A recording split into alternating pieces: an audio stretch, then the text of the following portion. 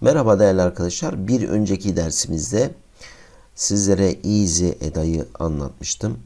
Ne işe yaradığından, nasıl kullandığından bahsetmiştim. Easy Eda ile PCB elde etmenin nasıl mümkün olacağını anlatmıştım. Şimdi bu dersimde bir e, devre çizeceğim. Basit bir devre. Ve bunun PCB'ye aktaracağız arkadaşlar. PCB görüntüsünü elde edeceğiz. Yani baskı devre görüntüsünü elde edeceğiz. Şimdi devremiz NPN transistörlü anahtarlama devresi. Basit bir devre arkadaşlar. LED direnç, e, transistör ve butondan oluşmaktadır. E, devremizi nasıl kuruyoruz arkadaşlar? Öncelikle malzemeleri ben e, library'den ya da e, şöyle göstereyim size. Commonly, commonly e, library denilen sekmeden elemanlarımızı çağırıyoruz. Mesela buraya led diyorum arkadaşlar. Tıkladığımda bakın ledimi getirdi bana. Bu led'e tıkladığımda bakın burada bir footprint'inin olduğunu ben görüyorum. Dikkat ederseniz buna tıkladım. Burada footprint'i var bunun arkadaşlar. Eğer olmasaydı orada herhangi bir şey yazmayacaktı. Ona tıkladığımda diğer elemanlarımın da footprint'i buraya geldi arkadaşlar.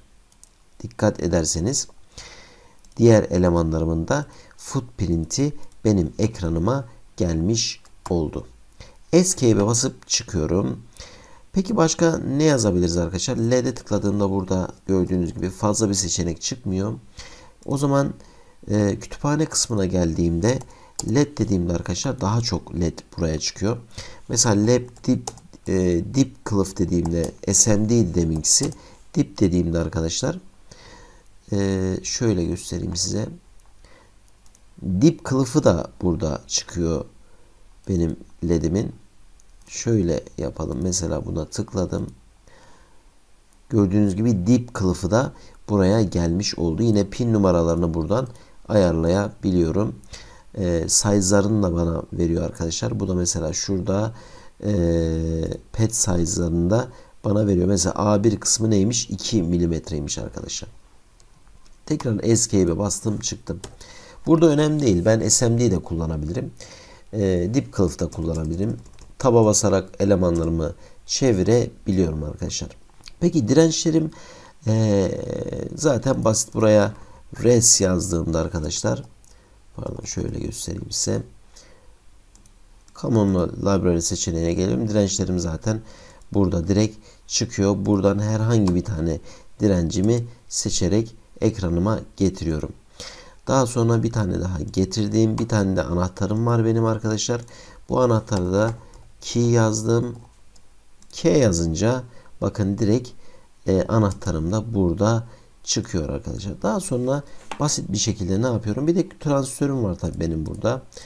Ee, bunu da seçiyorum arkadaşlar. O da şurada yer almaktadır. Yine SOT bir şekilde SOT 23 kılıfında daha sonra birleştirme işlemlerimi yapıyorum arkadaşlar. Birleştirme işlemlerimi de burada e, çizim çubuğumuz var. Şöyle göstereyim size. Şuradan çıktım tekrar. Yani bunlar benim neydim ha? Neyimdir arkadaşlar? Wire'ımdır değil mi? Direkt L'ye tıklayarak da bunu elde edebiliyorum birleştirmelerimi yapıyorum.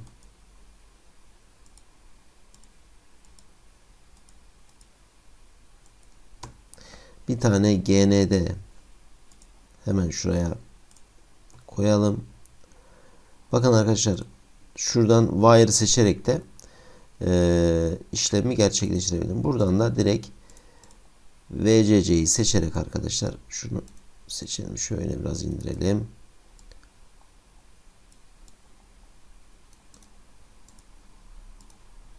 Evet çizimimi gerçekleştirdim. Şu 4.7K olacak. Çift tıklıyorum buna. Arkadaşlar bakın 1K demiş ya. Bunu 4.7K yapalım. Şurası da benim direkt LED'imin önüne bağlayacağım direnç olduğu için direkt 330 ohm olacak. Bunu da yaptıktan sonra artık şunu silebiliriz arkadaşlar. En son yaptığımızı kullanalım. Şimdi bunu PCB'ye nasıl aktaracağım? Yani baskı devresini nasıl alacağım? Çok basit. Bu online bir PCB çizim programı arkadaşlar. Aslında şematik artı PCB var burada.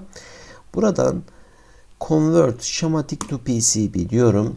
There are some unfinished nets diyor. Do you want to check?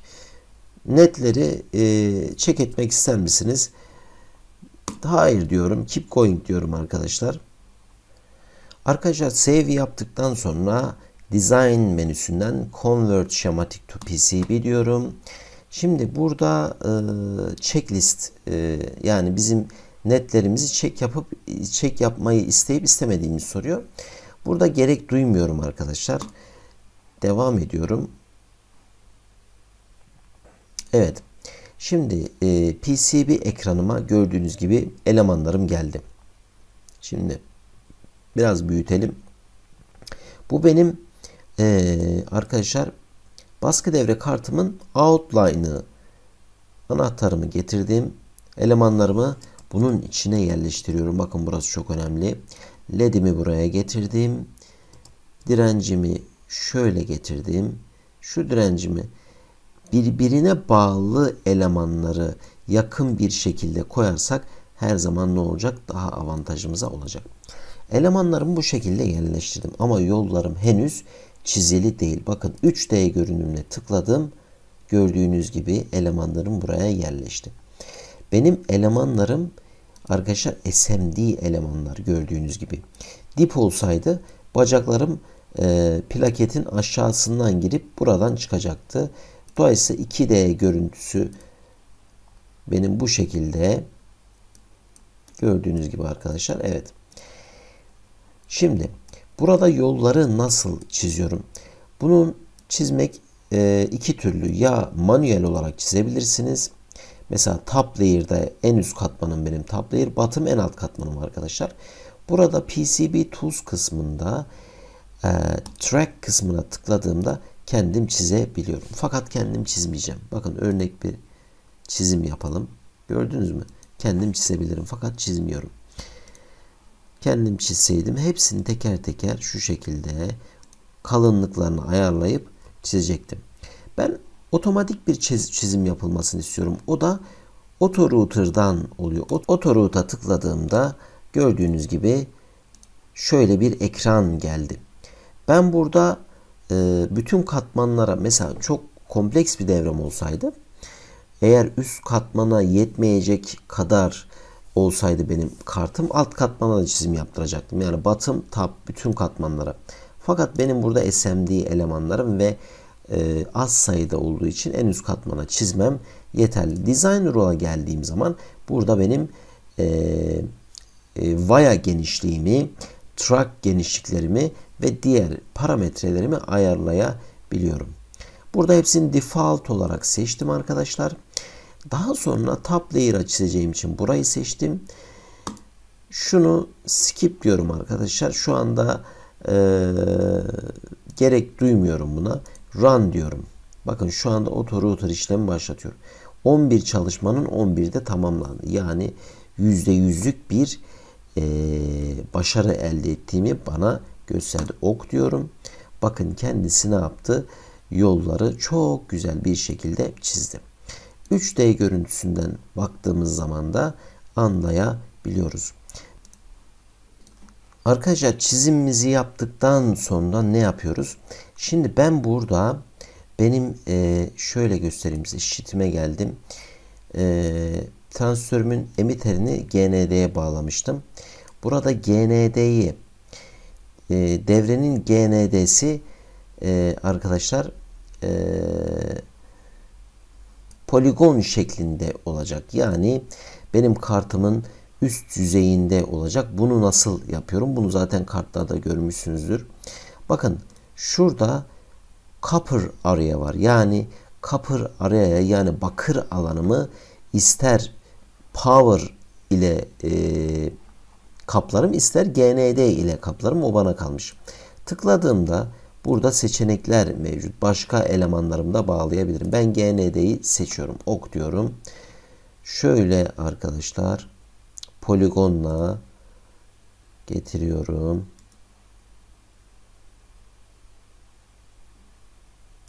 Evet. Tıkladım. Son bir tıklama daha yapıyorum. Escape'e bastım. Bakın ne yaptı? Benim bakır alanımı GND ile kaplamış oldu. Bakın burada diğer hatlarım GND'den ayrıldı. Sadece transistörümün şu noktası yani emiteri ne yaptı? GND'ye bağlandı.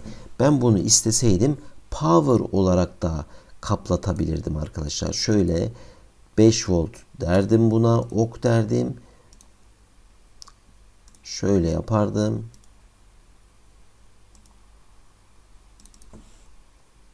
Bakın bu sefer ne yaptı? Power ile kaplamış oldu. Power'a ne bağlıydı arkadaşlar? Benim butonumun butonumla diyodumun artısı bağlıydı. Bakın led diyodumun anoduyla butonumun üst ucu ne yaptı? Power'a net olarak bağlanmış oldu. Zaten bunu baskı devre kartlarında görmektesiniz. Evet değerli arkadaşlar, e, kısaca anlatmak istedim. Çok vaktinizi almak istemiyorum. Yine siz de kendiniz uğraşarak e, çok güzel baskı devreler alabilirsiniz. Easy EDA ile çok kullanışlı program. E, online bir program. Oldukça kullanışlı arkadaşlar. Bir sonraki eğitimde görüşmek üzere. Hoşçakalın.